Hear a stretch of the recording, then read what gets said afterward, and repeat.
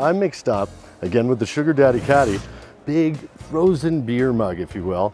I rimmed it with a little bit of uh, Sugar Daddy Caddy, and I'm starting with the great 360 vodka. Now 360 vodka, I always say with the 86% recycled packaging and the great flavors they have, we're using the cola today that really has the true, true flavors of a cola. It's like you're drinking a, uh, a soda, if you will.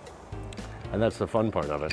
Now, uh, if you're ever marooned on an island, this is the best bottle to have because with the closure right here, how you lock it, if you put a message in this bottle, cast it out to sea, it's sure to get to somebody because this cap does not leak, does not let any impurities into the uh, vodka that you're drinking. So I'm using the cola right here.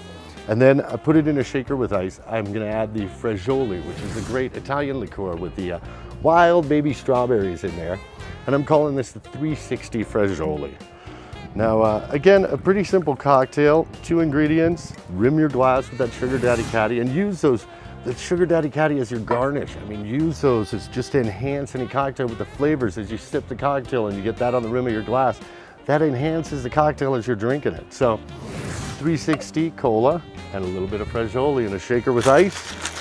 I'm shaking it up and pouring it right into the mug right there. Look at those colors right there. Wild baby strawberries. Uh, is it the perfect pour or what? And then garnish, of course, with a big hunk of strawberry right there.